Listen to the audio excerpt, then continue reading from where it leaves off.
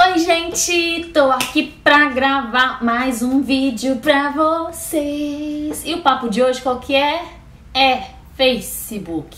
Vem ver. Querido, eu faço isso, entendeu? Então não é da tua conta que eu uso. Se about usar roupa uma semana seguida, eu minha. That bass, acho que pode tomar conta da sua vida. Eu adoro o Facebook. Amo o Facebook, mas tem coisas do Facebook que eu não gosto. Sabe o que é? Por exemplo, solicitação para joguinhos. Eu detesto que me mande solicitação para jogos. Eu quero matar quem me manda. Eu quero, sabe assim, quer mandar um convite? Me chama pra ir na sua casa. Me chama pra, sei lá, ir no cinema, ir num restaurante, quem sabe, me manda pra PQP, mas não me manda solicitação de jogos. Candy Crush, chega vários lá pra mim. Sabe por que eu não dou minha vida no Candy Crush, gente? Porque eu não peço vidas no Candy Crush. Por isso que eu não dou minhas vidinhas lá. Eu sempre compro, se eu tiver que comprar mais coisa, eu compro vida no Candy Crush, mas eu não peço, porque eu sei quanto é chato. Você tá lá no Facebook, aí aquele balãozinho apita, play! Aí você fala assim, Gente, tem alguém falando comigo, cara. Tipo, e é sério. quando você vai ver uma solicitação de um filho de uma mãe, é que você fala assim, nossa, é um corno, uma corna, uma pessoa infeliz que fica te mandando. Então não me mande solicitação de jogos que eu não gosto. Outra coisa que eu não gosto no Facebook, Facebook tem muita piriguete. Ai, Tati, mas que coisa feia falar de piriguete. É verdade, gente. Facebook é o lugar de piriguete. Não tenho nada contra. Não tenho nada contra desde que não mexa comigo. Se não mexer comigo, tá tudo bem. Aí você fala assim: não tenho piriguete no meu Face. Vou provar pra você que tem. Gente, você vê na vida real, a menina não tem peito. Tem duas uvinhas desse tamanho assim, ó. Peitinho que não dá pra nada. Aí chega nas fotos, aquele peito assim, ó. Aí você fala, meu Deus, que garota peituda! Que peitos são esses? Ela colocou silicone? É Photoshop? Não. Ela escreveu tanto peito que um dia o peito dela vai sair voando assim, ó. Vai estourar. Tanto que a pessoa aperta o peito pra ele ficar grande nas fotos. Tem também o sutiã da Lupo, aquele que aumenta duas vezes mais o tamanho dos seus peitos. Pois é, homens, vocês são muito enganados. Sabe como eu sei? Porque eu tenho esse sutiã. Uh, eu uso esse sutiã. Uh, é, sutiã é muito bom, propaganda muito boa. Obrigado, Lupo, por realizar meu sonho de ter peitos grandes. Mas meninas, vocês são tão lindas. Sabe, não precisa colocar aqueles, aquelas fotos com aqueles peitos enormes.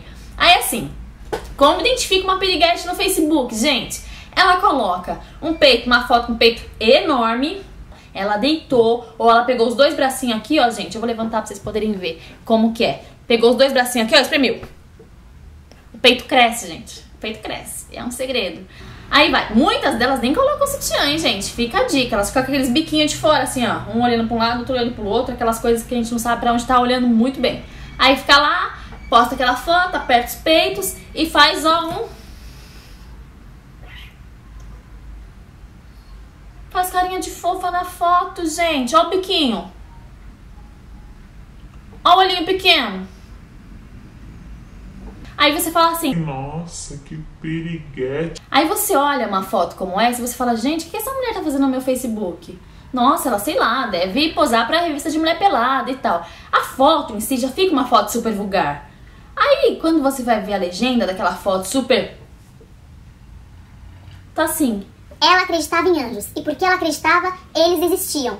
Clarice Lispector. meti uma Clarice Lispector na parada pra mostrar pra vocês que eu não tô de brincadeira, entendeu?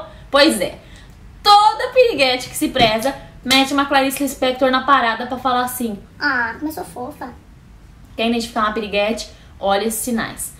Tem outros tipos de piriguete também, mas eu vou falar em um próximo vídeo pra vocês acompanharem. Vou falar de Facebook.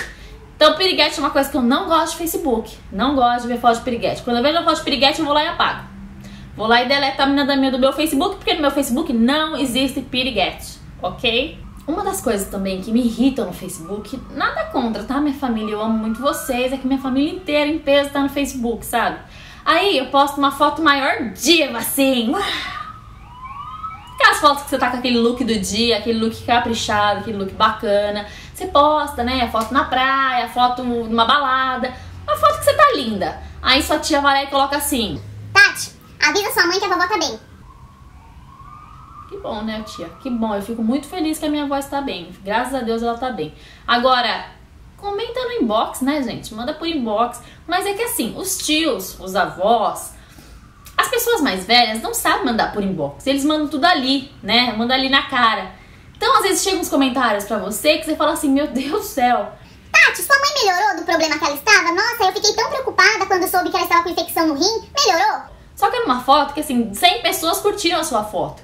E todo mundo sabe que sua mãe tem infecção no rim, entendeu? Então, familiares, não comentem nas fotos coisas assim. Manda lá por inbox, tem uma caixinha assim, que é um, um balãozinho. Aí vocês clicam lá, ou tá lá, mensagem, mandar mensagem. Aí vocês clicam lá e mandam mensagem pessoal. Porque não dá pra ficar mandando mensagem assim, não. Esses dias postei uma foto também linda, maravilhosa lá, todo mundo, nossa, que linda, lá, lá, lá, lá, com muito filtro, né? Graças a Deus que existe filtro, existe Instagram, existe aplicativos pra gente ficar bonita, né? Com muito filtro lá, tipo divando. Aí minha tia coloca assim: Ah, tô esperando o homem do sapato. Tia, bacana, tô torcendo pra que ele chegue logo, viu? Fé aí que o sapateiro vai chegar na sua casa, acredita, viu? Gosto de tua, gosto de tu. Gata, gostosa, marota, linda. Outra coisa que eu detesto no Face, gente, as pessoas amam e desamam com uma facilidade que é incrível, né? Vou contar uma história pra vocês, um babado quente, hein? Tinha um casal que namorava, que tava lá no Face, ah, bonitinho, lararara. eu vi o casal. De repente, assim, coisa de uma semana, tá, gente? Tinha declaração, assim, de você é sempre o amor da minha vida, eu vou chamar pro resto da minha vida, que bom que eu te encontrei, que bom que Deus colocou você na minha vida, e lá, lá, lá. Aquela coisa toda, que é o amor da vida, né? O amor da vida aparece no Facebook. Em um mês você ama a pessoa com uma intensidade, gente, que é uma coisa de louco, né? Aí o que acontece? Tava lá o casal se amando, aquela loucura, declaração pra cá, carinho pra cá, foto pra cá, o povo perfeito, né? Casal perfeito. Passou uma semana, a pessoa aparece casada. Juro por Deus, gente, não tô brincando. O cara tava casado com outra, fulano casou-se com fulana e a outra tava casada com outro. Aí eu parei e falei, Perdi alguma coisa dessa história.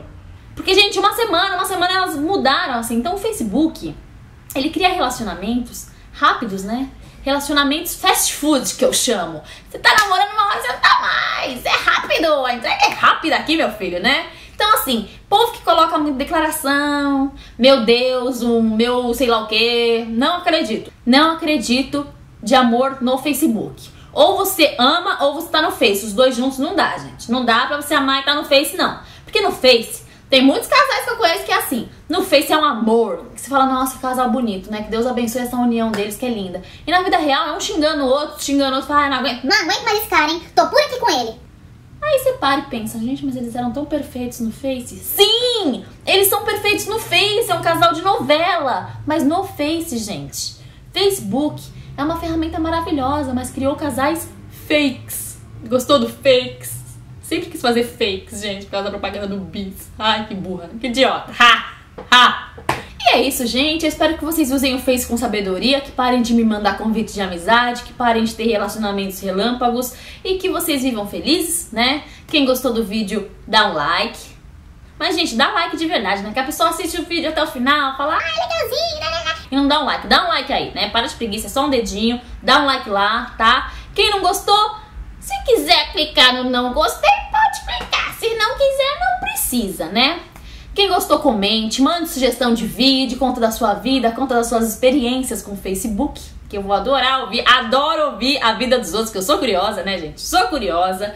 É, quem gostou do vídeo, compartilhe, se inscreva no canal, pelo amor de Deus, gente. Eu preciso de inscritos no canal. Se inscrevam nesse canal.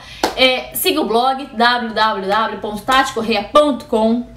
Quem quiser falar comigo, me segue lá no Instagram, Tati Corre. Eu falo todos os dias, respondo todos os dias. Quem quiser falar comigo, quem quiser mandar sugestão, quem quiser me xingar, quem quiser me elogiar, quem quiser me abraçar, quem quiser me amar, uh, quem quiser fazer o que quiser. Tô lá pra isso, tá?